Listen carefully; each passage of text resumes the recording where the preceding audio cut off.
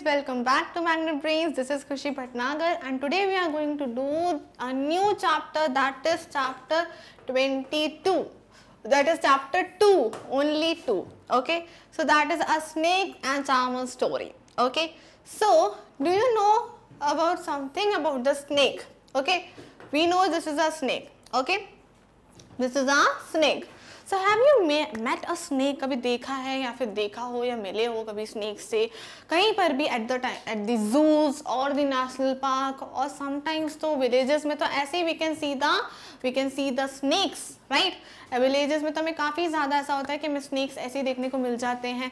And at the time of the rainy season भी ऐसा होता है कि हमें स्नेक्स ऐसे ही देखने को मिल जाते हैं। राइट सो स्नेक्स जो है, हम देख तो बहुत बार पाते हैं but we are very scared of the snakes right बहुत डर लगता है स्नेक्स से। मुझे खुद बहुत ज़्यादा डर लगता है स्नेक से। I can't see the snakes even मैं देख भी नहीं सकती सो लाइक मी बहुत लोग ऐसे लोग होंगे we are very much afraid of the snakes जो बहुत डरते होंगे स्नेक से। राइट आप सब भी बहुत ज़्यादा। डरते हो गए स्नेक से। ओके सो ये जो स्नेक्स होते हैं ओके ये क्या करते हैं? They can harm us of course they can harm us क्यों? कैसे हार्म कर सकते हैं? क्योंकि they are very dangerous animal they can harm us okay so that's why we are scared of us और हम दूर ही रहते हैं। बट एक पर्सन होता है जो स्नेक के बहुत पास होता है that is this person known as charmers okay so ये जो पर्सन होता है, ये स्नेक के बहुत पास होता है और स्नेक को कंट्रोल भी कर सकता है।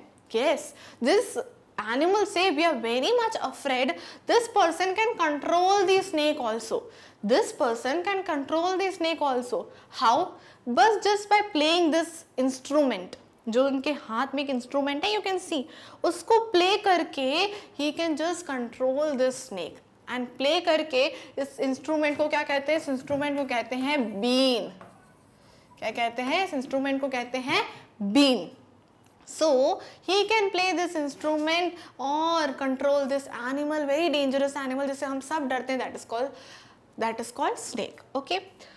So, इन्हीं की एक स्टोरी जो इन दोनों की साथ की एक स्टोरी जो है, हम रीड करने वाले हैं. क्लियर सो स्टार्ट करते हैं हम story okay So I am Aryanath. Okay, the person's name is, this person name is Aryanath. Page number one five fifteen से हम continue कर रहे हैं page number one five से okay. Can do something special which I am sure none of you can do.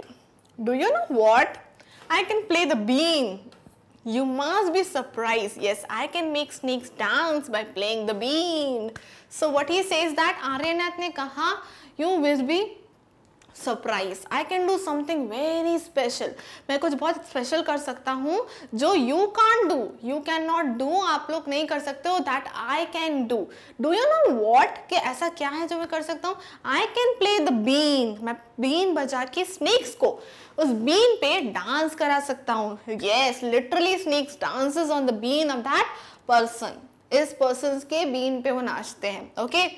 तो जिस person के बीन पे मनाते हैं that is a charm that is call उनका नेम क्या है? Aryanath. His name is Aryanath. I have learn this art from my family members ये आर्ट मैंने किसे सीखा है?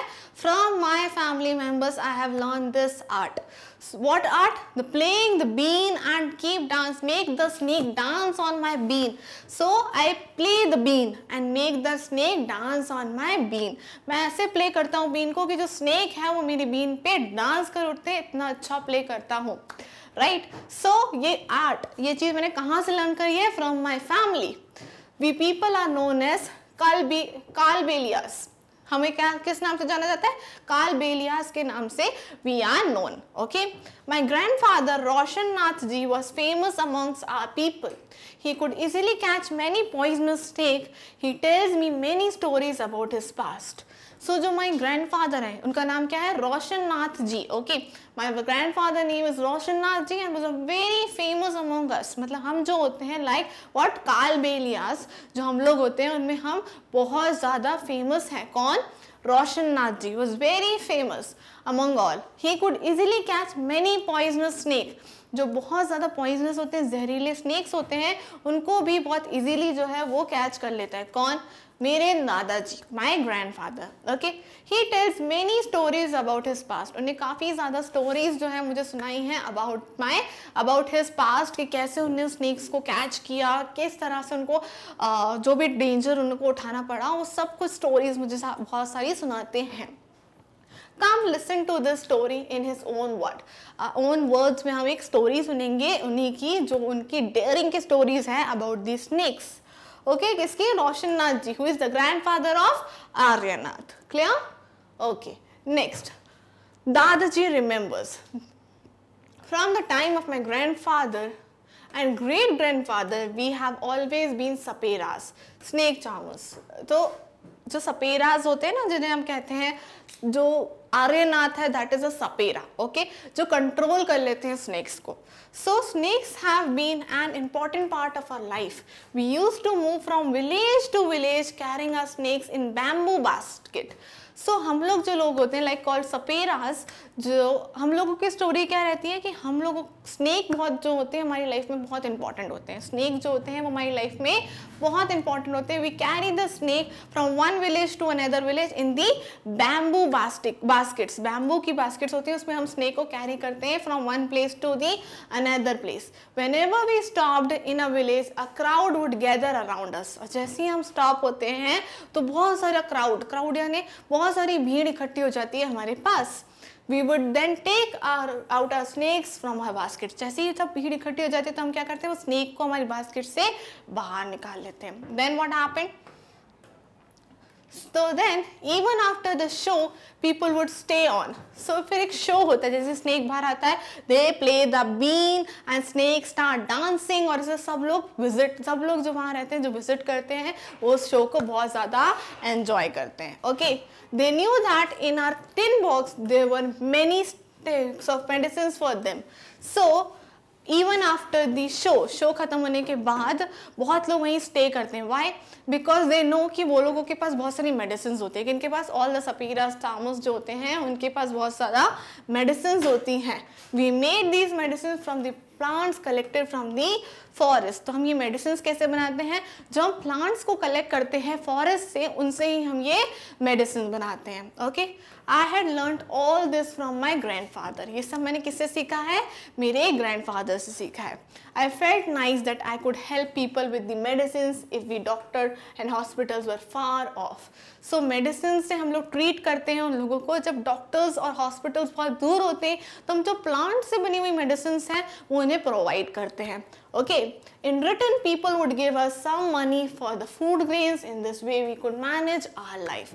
Or in return, when we provide medicine, so वो हमें क्या देते हैं? कुछ मनी देते हैं।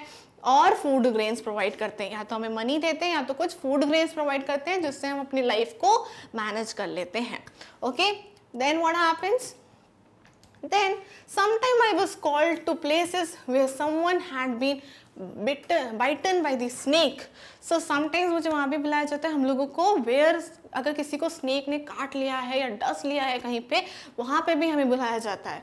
From the marks of the bite I try to find out which snake had bitten the person so जो मार्क छोड़ देते हैं स्नेक्स जब आपको देखा होगा, कभी भी ऐसे डसते हैं तो कुछ मार्क्स आपके हैंड्स पे या जहाँ पे भी वो डसते हैं, वहाँ पे छोड़ देते हैं। उस मार्क्स से जो हम आइडेंटिफाई करते हैं कि ये कौन से टाइप के स्नेक ने ये किया है।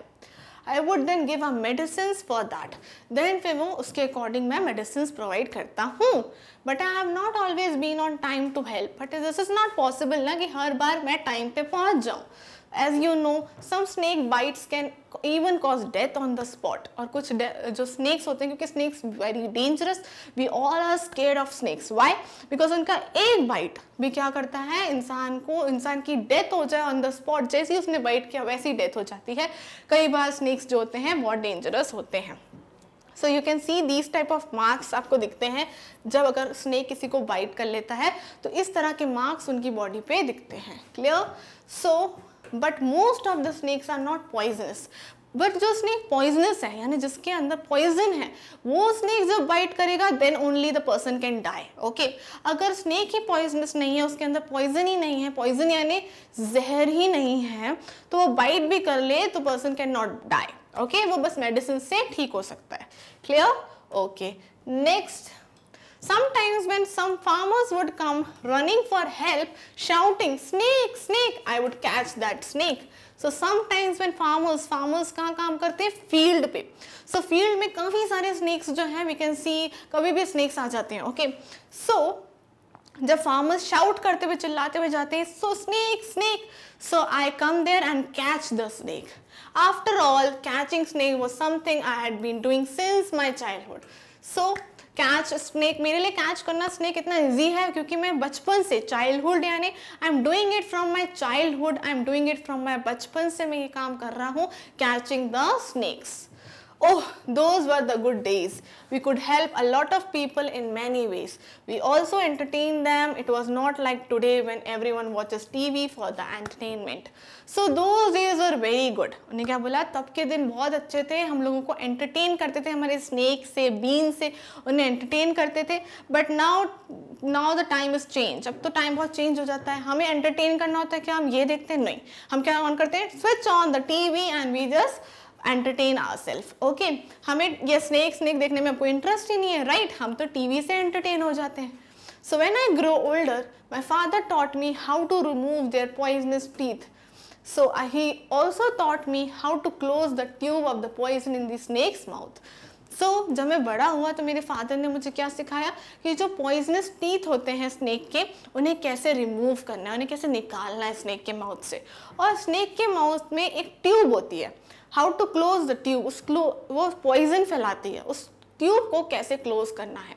ये सब मेरे फादर ने बड़े होने पे मुझे सिखाया okay then some of the questions are there for you जो हम डिस्कस कर लेते हैं, जितना अभी हमने स्टडी किया, उससे रिलेटेड कुछ क्वेश्चन हैं okay page number 17 one seven seventeen okay have you ever seen anyone playing a been where so कभी आप लोग ने देखा है कि कोई person is playing the been So yes, I have seen a snake charmers playing a bean. I have seen them in a fair.